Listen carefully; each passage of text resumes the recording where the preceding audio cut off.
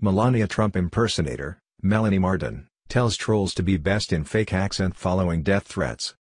T.I. recently uploaded an Instagram video where he depicted a naked Melania Trump seducing him in the Oval Office. The actress, Melanie Marden, has since received death threats for her role. Melanie noted that someone threatened to hit me with a baseball bat, hit me with their car. Another said, I hope you get raped then killed, according to The Hollywood Life. The video was also condemned by a White House spokesperson, who suggested that a boycott of T.I. was in order. Since then, Melanie has uploaded a new video to her Instagram account, during which she continues her impersonation of the First Lady. She wore a fancy shirt and jewelry, as she noted the following.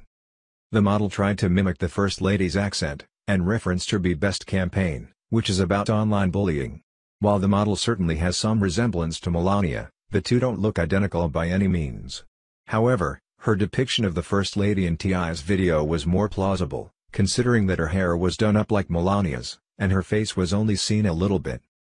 The Be Best campaign was initially under scrutiny for its title, and also for its potentially hypocritical nature.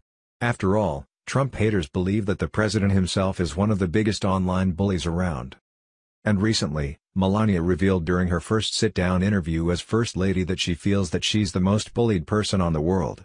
She later clarified, saying she's one of, the most bullied, if you really see what people saying about me.